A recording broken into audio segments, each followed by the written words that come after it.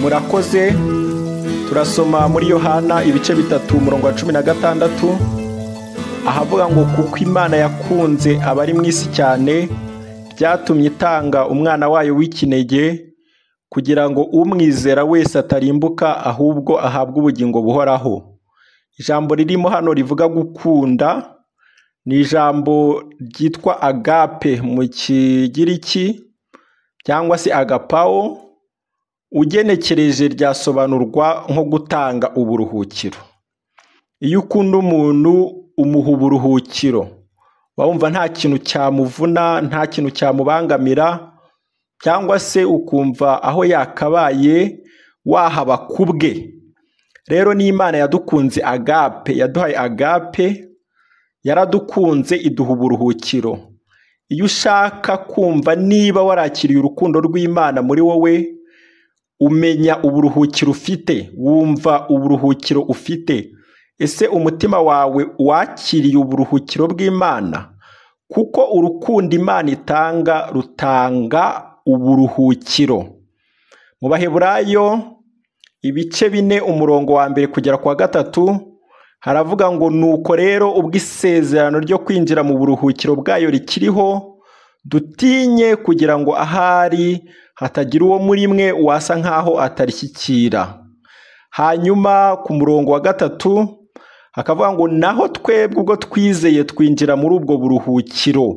Ubwo yavuze iti narahiranye umujinya wanjye nti ntibazinjira mu buruhukiro bwanjye. Aribwo imana yaruhutse irangije imirimo yayo imaze kurema isi. Naho twebwe ubwo twizeye wa wundi imana yatanze ikamutanga ko yadukunze duhita twinjira muri ubwo buruhukiro. Ese ni iki twaruhutse? Uyu murongo wo muri yohana gatatu cumi na gatandatu urabivuga neza. Uvuga ko twaruhutse kurimbuka. Kurimbuka twazanirwaga n'amategeko twarabiruhutse muri kirisito yesu. Imitima yacu biratuje ntitwikanga. Ahubwo twahawe ubugingo buhoraho. Twaruhutse kurimbuka turuhuka ikuzimu turuhuka urubanza rw'icyaha kuko twakiriye imbabazi zo muri kirisito yesu tukitwa abana b'imana hanyuma duhabwa uburuhukiro cyangwa se duhita duhabwa ubugingo buhoraho. Na yesu yarabivuze muri matayo cumi na rimwe makumyabiri n'icyenda aho yavuze ngo mwemere kuba abagaragu banjye munyigireho kuko ndi umugwaneza kandi noroheje mu mutima. Namwe muzabona uburuhukiro mu mitima yanyu.